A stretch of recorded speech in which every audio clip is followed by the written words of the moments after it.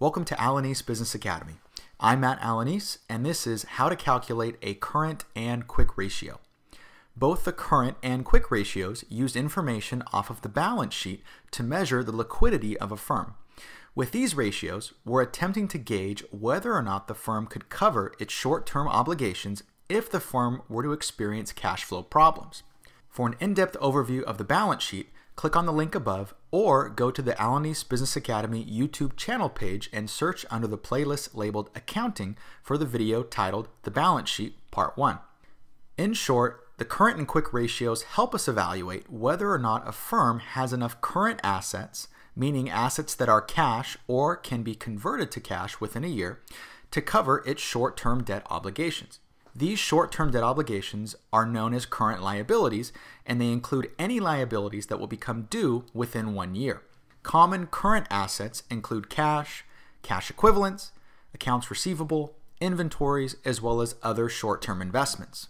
Common current liabilities include things like accounts payable, wages payable, interest payable, as well as other short-term debt obligations. Now that we've discussed the basic elements of both ratios, let's walk through how to actually calculate them. Let's start with the current ratio. To calculate the current ratio, you first need to determine the amount of a firm's current assets and current liabilities. These are commonly reported in total on a firm's balance sheet as separate entries. Once you've located both current assets and current liabilities, divide the firm's current assets by its current liabilities. As an example, let's say that we have $3,000 in current assets with $1,500 in current liabilities. After dividing our $3,000 in current assets by our $1,500 in current liabilities, we would be left with a current ratio of 2. This means that we have twice as many current assets as current liabilities. But is this a good thing? Although a current ratio of 2 is considered adequate for most industries, you'll want to take a look at what is common for the industry of your chosen company. A current ratio of 2 may be great for some industries, but it may be dangerously low for others. The quick ratio is almost identical to the current ratio. However, it attempts to solve one dangerous assumption that the current ratio makes. Is it reasonable for a firm to assume that it will be able to convert all of its inventory into cash within the next year? Unfortunately, it isn't. The truth is that inventory becomes obsolete quickly, especially for technology goods.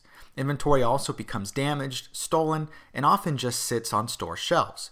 This assumption can be particularly harmful for a retailer, which often carries a large percentage of its current assets in inventory due to the very nature of its business. In order to take a more conservative approach to gauging the liquidity of a firm, we can use the quick ratio. In order to calculate the quick ratio, we still gather the current assets and the current liabilities of a firm. But prior to our calculations, we deduct inventory from current assets. That way, we're not assuming a firm's inventory will be there to assist in covering their current liabilities. Now, truthfully, some inventory, maybe even a large percentage of it, will be sold. However, just in case it doesn't, we're prepared. Continuing our example above, let's say that we still have $3,000 in current assets and $1,500 in current liabilities. We also have $2,000 in inventory.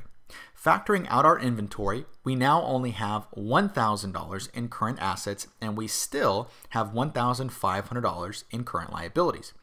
After dividing our remaining current assets by our current liabilities, we're left with a quick ratio of 0.67 rounding to the nearest hundredth.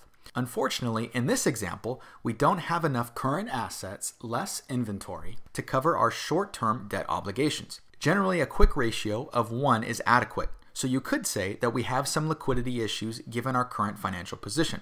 Once again though, researching the industry average will help us get a more accurate gauge on what is an acceptable quick ratio. This has been how to calculate a current and quick ratio.